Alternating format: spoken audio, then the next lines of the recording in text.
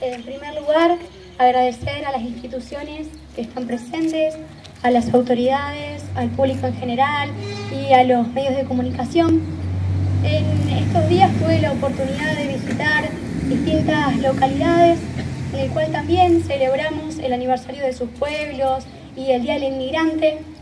Y en cada una de ellas, como lo hacemos acá también, recordamos a esas primeras familias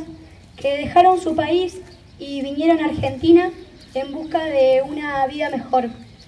No sabían qué les esperaba, pero tenían la esperanza de, construir un futuro en, en estas tierras.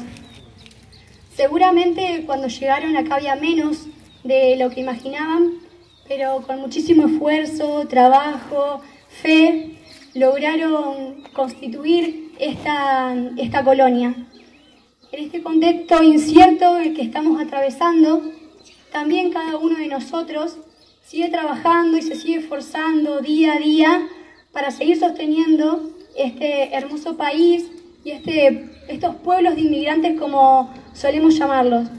Pero lo cierto es que a veces no basta solo con, el esfuerzo de, de cada uno, sino que necesitamos de un Estado y más bien de un gobierno que esté presente. Por eso estamos muy contentos de poder estar inaugurando hoy la ampliación del SAMCO, que cuenta con tres consultorios y un salón de, usos múltiples, porque esto es lo que necesitamos en realidad, un, eh, Estado, un gobierno que dé respuesta a, las necesidades de la comunidad que no, solamente en salud, sino también en educación, en seguridad, eh, en, medio ambiente, en generación de, puestos de trabajo, como decía también eh, Vicky, que se reconozca el interior de, nuestro país.